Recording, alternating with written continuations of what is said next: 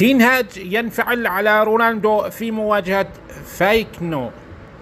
كشف الصحيفة ديلي إكسبريس البريطانية أن عدسات الكاميرات رصدت خلافا حادا بين النجم البرتغالي كريستيانو رونالدو لاعب مانشستر يونايتد ومدربه تينهاج خلال مباراة الفريق الودية أمام رايو فايكانو. وأوضحت الصحيفة أن تينهاج كان يعطي تعليمات لرونالدو بطريقة منفعلة وهو الأمر الذي أزعج النجم البرتغالي حيث ظهر وهو يدافع عن نفسه ويتذمر من كلام مدربه.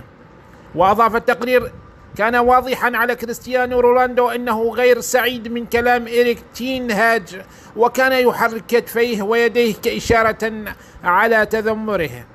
وشارك رونالدو في المباراة التي تعادل فيها مانشستر يونايتد ولم يظهر بالمستوى المطلوب خلال الشوط الأول وتم استبداله بعد ذلك من قبل المدرب الهولندي إريك تينهاج بسبب عدم جاهزية اللاعب على الصعيد البدني.